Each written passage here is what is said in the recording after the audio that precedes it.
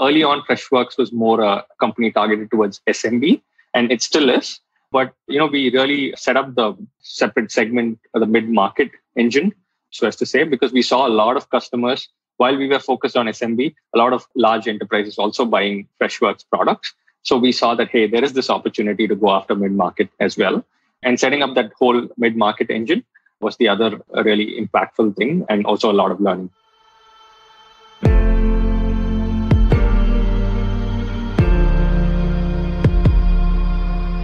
This is Sales Ops Demystified, the number one most downloaded podcast in sales operations. We invite the brightest minds in sales ops onto the show to deconstruct the what, why, and how behind rep productivity, forecasting, metrics, and all things revenue. This podcast is brought to you by Ebsta a revenue intelligence platform used to identify risk in the pipeline and score customer engagement, and is sponsored by the Global Sales Operations Association and the UK Revenue Operations Network.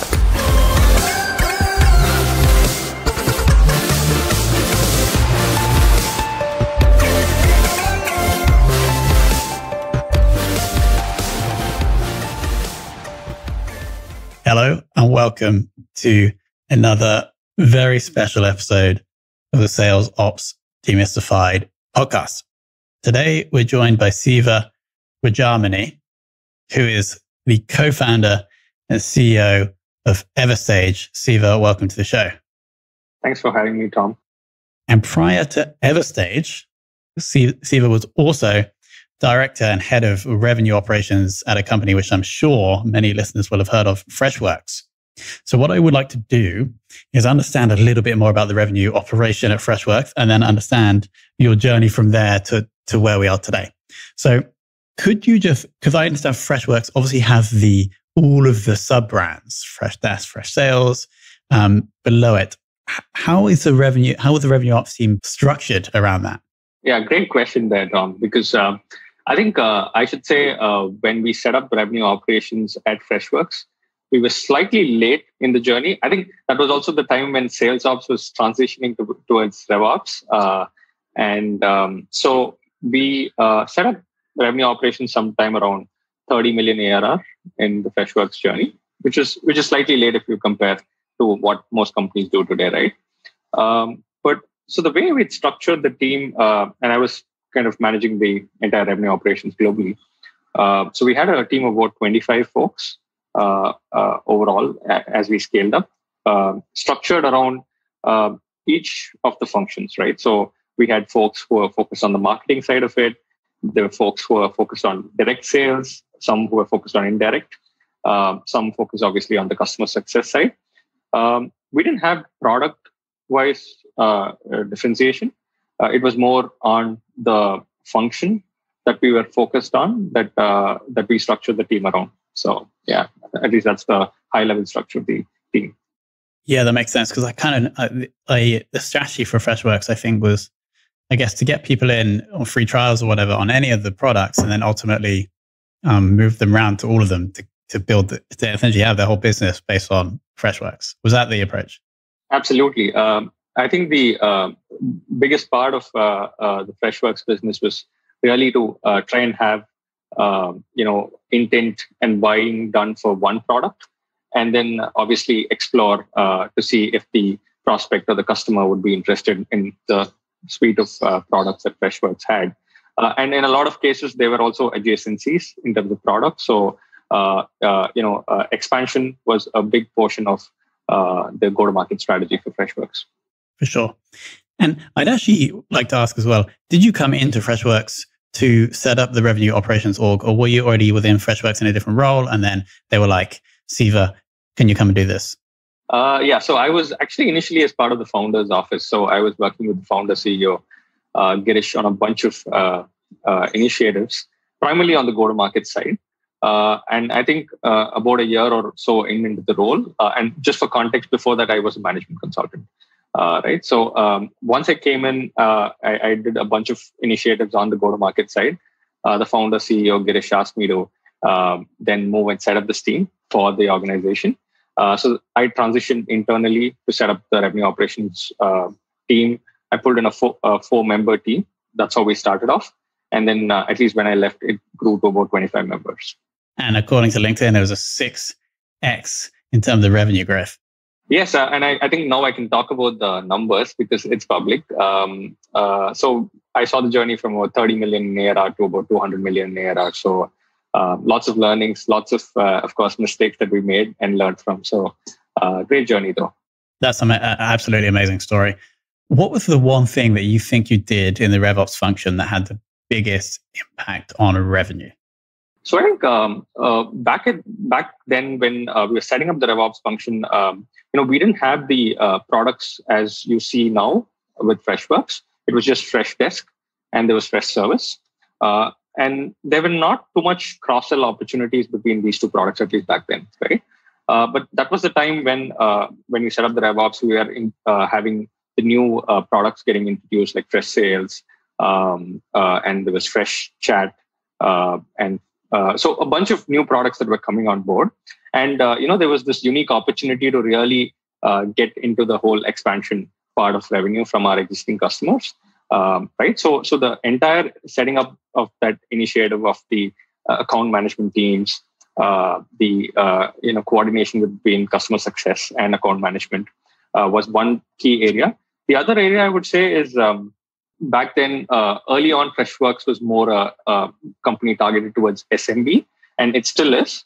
Uh, but uh, you know, we really uh, set up the uh, separate segment, the mid-market engine, uh, so as to say, because we saw a lot of customers while we were focused on SMB, a lot of large enterprises also buying, you know, Freshworks products. So we saw that hey, there is this opportunity to go after mid-market as well, and setting up that whole mid-market engine uh, was the other, um, you know, really impactful thing, uh, and also a lot of learning personally for me. Incredible, and I actually personally am really interested in when people will do good things or learn stuff within an organization and then go on to create a separate business, either based on those learnings or um, with that experience. And it seems like this is the same story here because we now have Everstage that you have founded, which according to LinkedIn is better commission software for sales ops and finance people. So could you just please tell like what was the problem and did you realize that as part of your work at Freshworks? Absolutely. Um, so uh, the uh, idea germinated uh, back at my work uh, at Freshworks when, uh, among other things that we were looking to solve, we were trying to uh, find a good tool to automate commissions because we certainly saw that um, you know at the end of the day, all of us agree uh, on the power of incentives.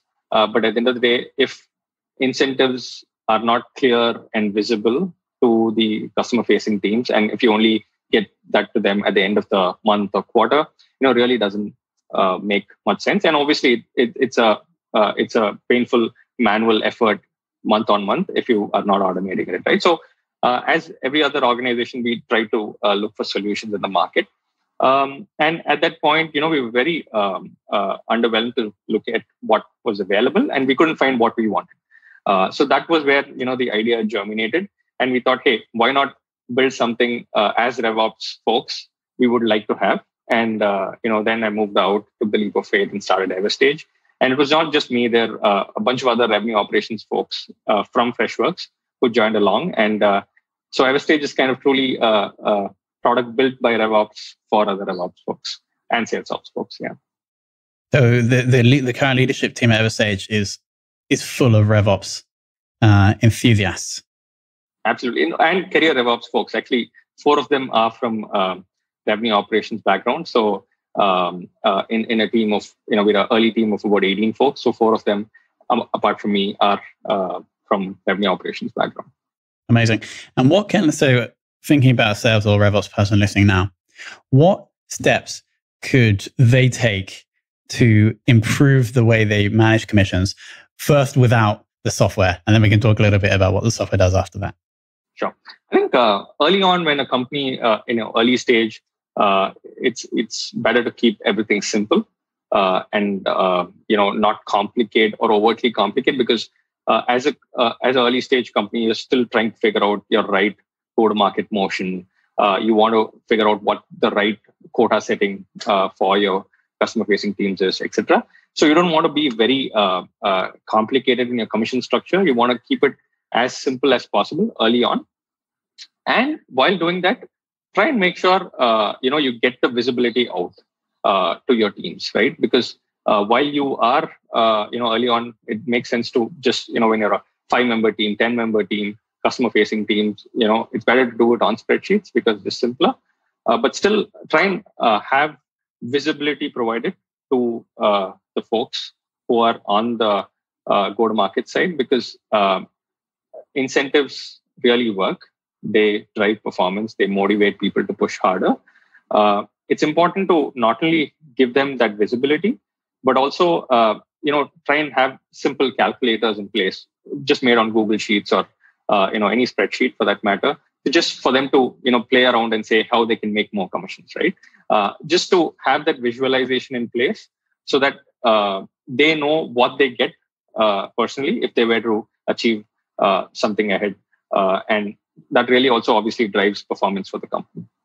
I think this is such a good point. Like I've I've worked in companies previously where the commission process is like a big black box and it's like the final day of the month and the person realizes how much they get. And so this it just makes such a simple change to a enable someone to see it almost in real time, but then also be like play around, right?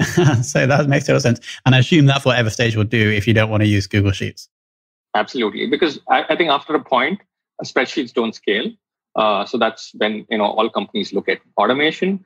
Uh, while you know, automation is a big uh, you know productivity uh, improvement for the ops and finance teams, uh, I think the real power uh, of incentives is when you unlock the visibility and use it to kind of motivate and drive performance. So you know, Everstage not only uh, is a no-code um, auto, uh, commissions automations platform, but also helps uh, motivate and drive performance through uh, gamification modules like uh, you know simulators where uh, you know go-to-market teams and customer-facing teams can actually play around to see how they can make more commissions and essentially drive the behavior that you want. Um, right. So so yeah, that's that's the motivation um, for Everstage. Yeah. Amazing, Alex. I'm going to bring you in to ask some more challenging questions about sales commissions. Thanks very much, Tom. Um, and thanks very much, Siva. That's uh, was really um, enlightening to listen to. And um, I must admit, with, with, my background, I've got I've, I've very little um, time on the commission side, so I, will be fascinated to ask some more pieces there. But before we, we got to that, one thing that really stood out to me from you, you know talking to Tom about your Freshworks experience was really talking about the expansion opportunity.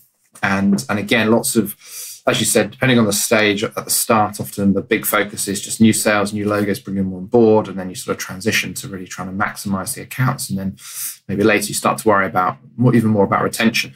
Um, can you just give some advice around your experience of how you really, in just a bit more detail, how would you try and you know drive that expansion uh, model and push that out to the teams?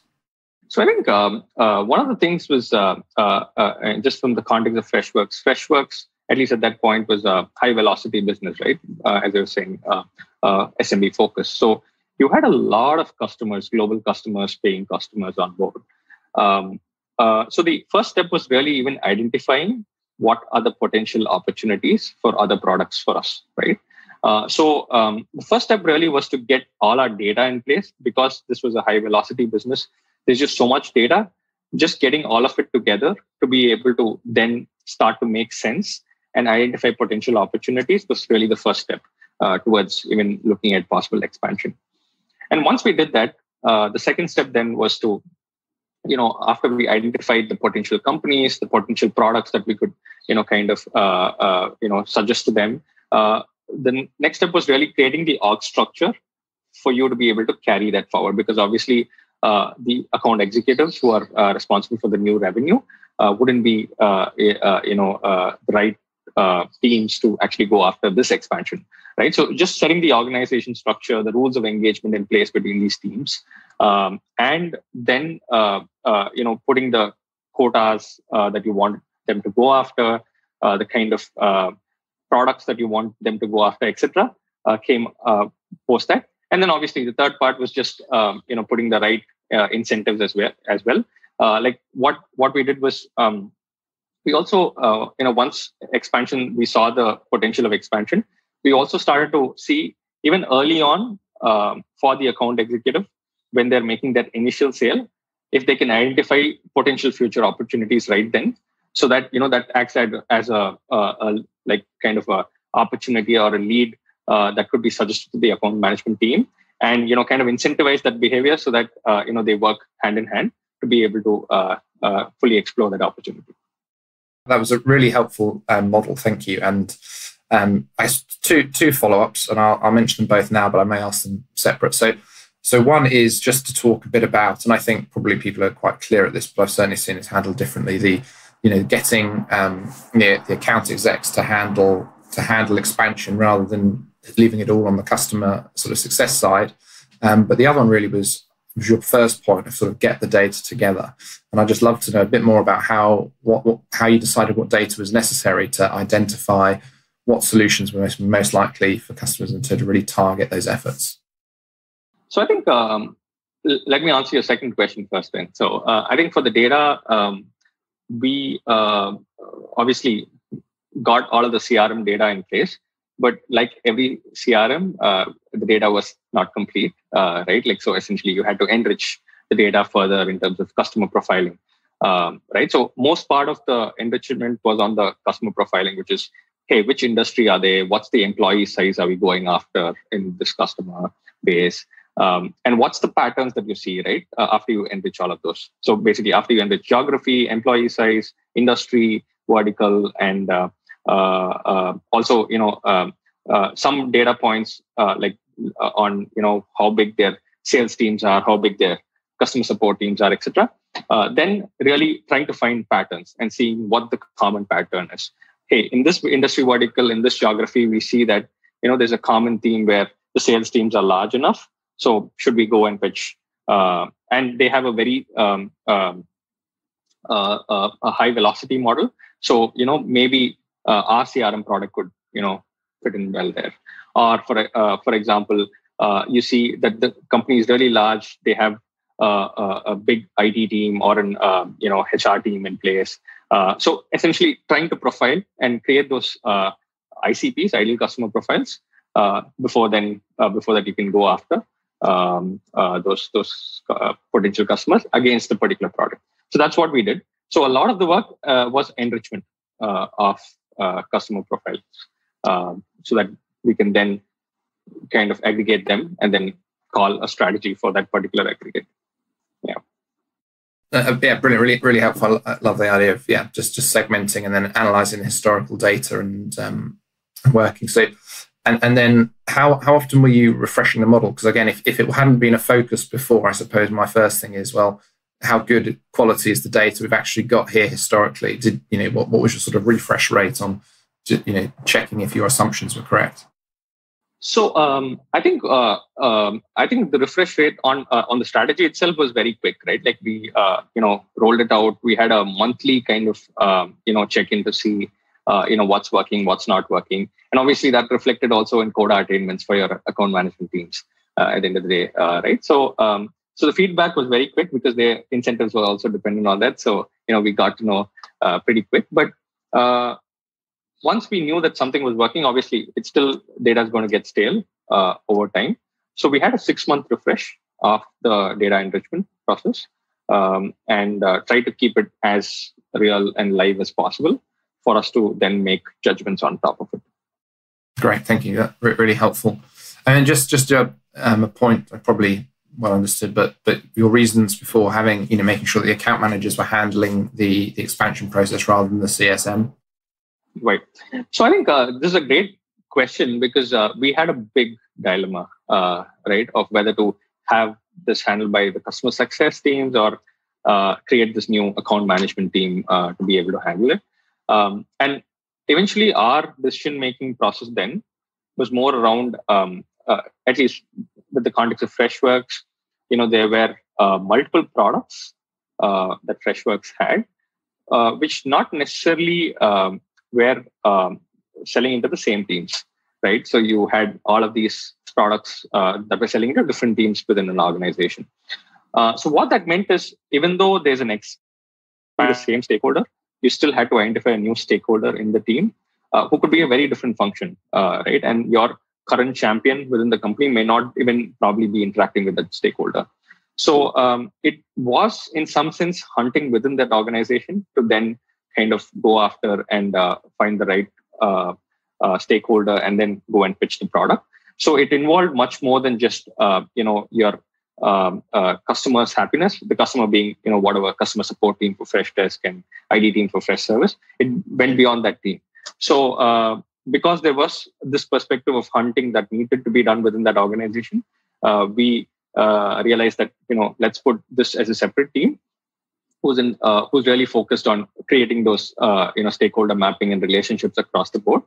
Uh, while the customer success continued to focus and make sure the current product was adopted and the uh, company was happy with you know the product that they were using and was giving us you know feedback testimonials etc so yeah Brilliant, thank you. I think a really helpful, um, not just overview of, of the decision in general, but really the specifics on, why you did it. So I think yeah, really helpful for people thinking about you know, weighing those same same decisions.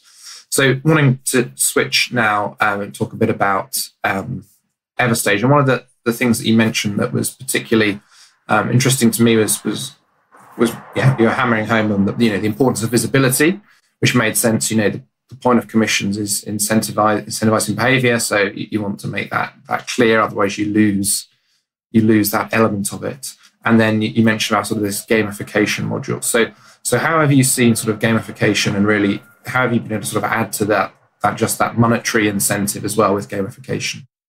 Yeah. So I think um, um, obviously uh, you uh, you know typical B two B companies, uh, tech companies that you take, uh, a commission plan has a couple of two three different criteria, right? You typically compensate them on revenue, then you probably then incentivize. I mean, and the revenue has like some tiering where you have accelerators when you hit the higher tiers.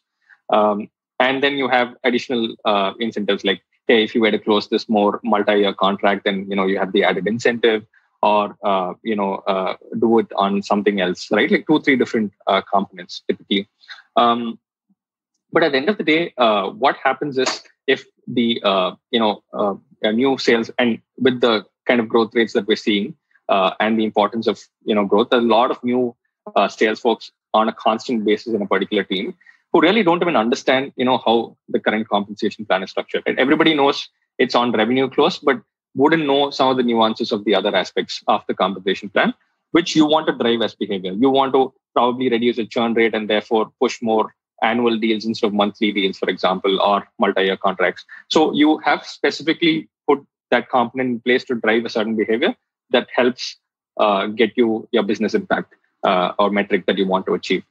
Um, so with gamification, what you could do is uh, one give visibility that hey, there is this component that is even there uh, for you to go after. But think of it this way, right? Um, an account executive, um, you know, what if, uh, and that's what we have in Everstage, like can open out their pipeline within Everstage and then say, hey, what if I'm able to close this deal in this month uh, and this other deal, right? how much will that push my quota attainment to? How much more commissions can I make from that? But that's one step. What if they can play around with that data and say, hey, what if I'm able to offer 5% lesser discount on this deal? What if I move this deal from a monthly deal to an annual deal? Uh, right? What's the additional commissions that I could get to make? And really uh, visualize the uh, uh you know monetary uh, payouts that they could make if they were to take some actions even before they close the deal so because then that reinforces in them that hey, you know, that's the right thing that I want to do or right that I want to push in order to before I close the deal, and essentially, you know, you get to that behavior. So it's important that um, the behavior uh, is uh, the need for that behavior is realized even before they close the deal, not post facto. You know, once they get their commission statements. So yeah. Great, no, thank you. That was that was really helpful and is certainly sparking all sorts of thoughts in my head about as I try and build some gamification fe- features in, and I've been doing a little bit of reading about it into some of the stuff I'm doing. But um, that was fascinating, and I think probably time for Tom for you to come back um, and ask our final question. Thank you, Alex. Siva, final and most important question of the interview: Who in the world of sales or RevOps would you most like to take for lunch? I think um, I've uh, in the last one year really admired a couple of revenue operations professionals. Uh, one's Rosalyn, um, and uh, so so she's really been um, you know uh, sharing a lot of uh, uh, good revenue operations content across the board. Um, and I think she's been doing a terrific job just propagating RevOps across the board. so I think I mean, yeah, even forget two. I think if there's one, probably I would say her. I think she's really been doing a lot of uh, um, uh, awareness of revenue operations as a function, and also uh, just you know sharing a lot of uh, knowledge and content and wealth of um, you know specific context that she has gone through in her experience for a budding revenue, revenue operations profession. So, uh, well, yeah. What was the name again? Just to be clear, Rosalyn, Rosalyn Santa Elena. Rosalyn Santa, amazing. We will reach out. She sounds amazing. I, I, I can't believe I haven't heard of her before. Siva, I want to thank you for coming on and sharing like some quite open stats about your Freshworks journey. Um, and then also the core thing that I really like about what you have brought to the table, which is something you realize at Freshwork, but sometimes you're trying to, something you're trying to bring to life with Everstage is the transparency of the commission. If we can do that, it, it improves the lives of the salespeople. It improves the lives of the sales ops or RevOps people because we're going to hit more likely to hit the goal. So for the, that's the one thing I'd love the audience to take away. And Siva, thank you for, for bringing that to us. Awesome. Thanks for having me, Tom and Alex.